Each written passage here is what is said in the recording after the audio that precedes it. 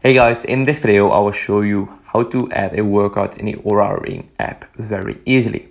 So as you can see, I'm, I'm in the Oura Ring app right now and if I want to add a workout, I just need to tap on this plus button in the right, uh, yeah, right down corner of my screen and you see unguided session, add a tag and you see add a workout. So just tap on add a workout and you can choose between different uh, different workouts. So you can choose between walking, or yeah, as you can see, a lot of workouts.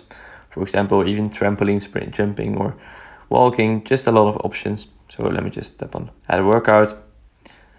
For example, walking, you can select the start time. So when did you start the workout? For example, at uh, let's say nine o'clock.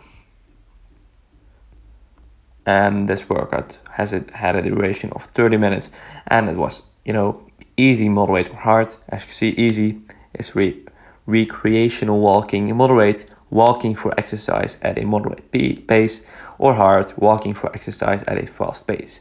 I think, you know, moderate is a right, uh, you know, an average, uh, average option. So you can just tap on uh, done, and this will add the workout or the, yeah, the walking workout to your Oura stats. It will, yeah, of course, um, uh, or will take it into the uh, calculation of your daily scores, of your activity score, and of your um, yeah of your uh, overall stats.